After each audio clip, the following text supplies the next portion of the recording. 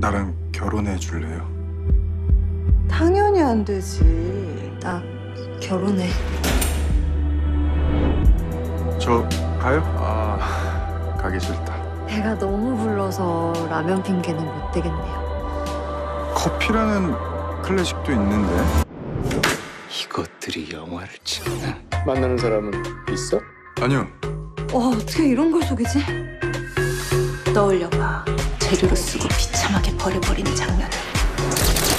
아 스토리가 막 가슴 뛰지 않니? 예